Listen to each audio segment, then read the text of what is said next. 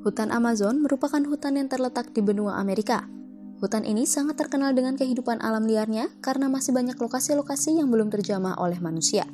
Gurun Sahara merupakan gurun yang terletak pada benua Afrika yang merupakan padang pasir terluas yang luasnya setara dengan benua Eropa. Kedua tempat tersebut terpisah karena terletak pada benua yang berbeda. Namun ternyata kedua tempat tersebut memiliki pengaruh akan keberlangsungan hidup yang ada di dalamnya. Apa sebenarnya pengaruh kedua tempat tersebut? Mari simak video berikut ini, jangan lupa untuk like, komen, dan subscribe channel ini agar tidak ketinggalan info menarik lainnya, serta share video ini pada orang-orang terdekat kalian.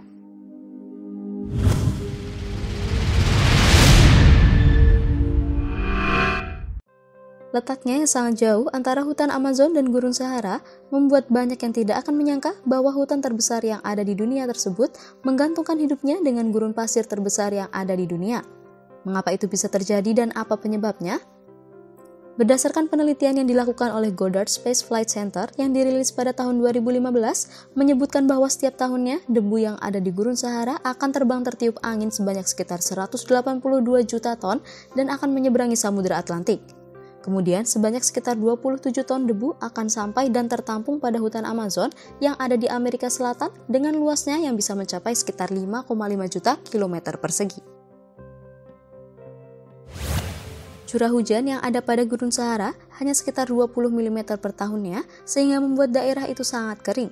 Namun ternyata, debu yang ada pada Gurun Sahara sangat bermanfaat bagi hutan Amazon yang memiliki curah hujan mencapai sekitar 1200 mm per tahunnya.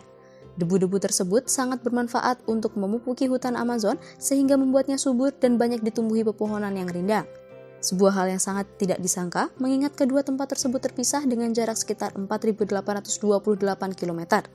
Ternyata, bumi ini memiliki hubungan yang saling melengkapi satu sama lainnya.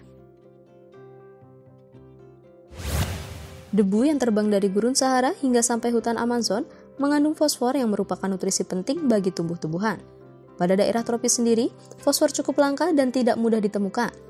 Inilah mengapa debu yang berpindah dari gurun Sahara menuju hutan Amazon sangatlah penting bagi kesuburan hutan Amazon.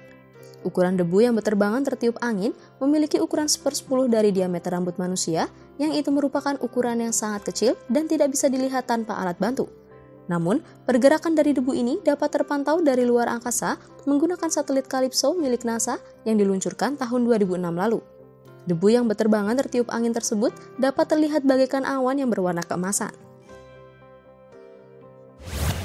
Debu yang tertiup angin dari Gurun Sahara menuju hutan Amazon berbeda dari waktu ke waktu dan sangat bervariasi. Itu dipengaruhi oleh perubahan curah hujan yang terjadi di daerah Sahel. Sahel sendiri adalah zona perbatasan di Afrika yang membagi antara daerah kering berada di utara dan daerah yang lebih subur berada di daerah selatan. Jika daerah Sahel kering, maka debu yang akan tertiup menuju hutan Amazon akan meningkat. Namun ketika daerah Sahel basah, maka debu yang akan tertiup menjadi berkurang.